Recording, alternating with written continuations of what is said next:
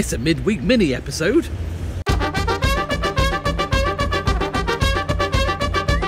Hello, hello. A little King of the Crib bite sized thing for you midweek.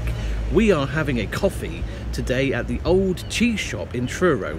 Not only do they do cheese, they do a lot of lovely cheeses, they also do coffee. So we've heard a lot about this. Me and my mum are going to go in, have a coffee, possibly have a cake, and uh, yeah, try out the Old Cheese Shop.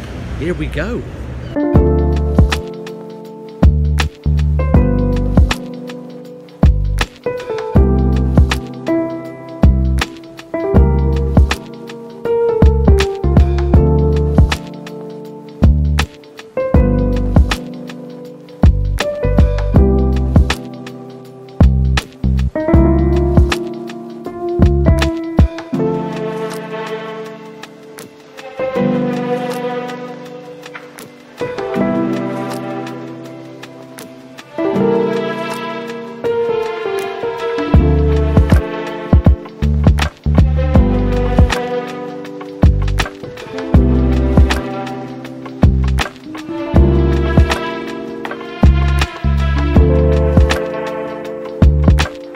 So we've been into the Old Cheese Shop. Yes. You had a cinnamon bun.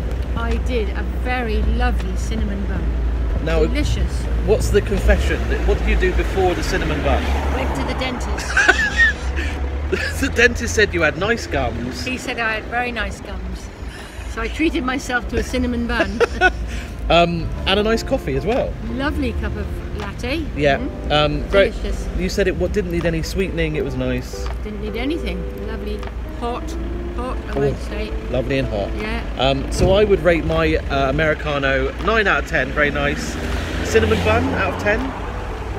Yeah, the same. I think had I thought a little bit deeper, I might have asked them to just gently warm it, Warm. tiny bit. Mm. But it was perfectly edible cold. All right.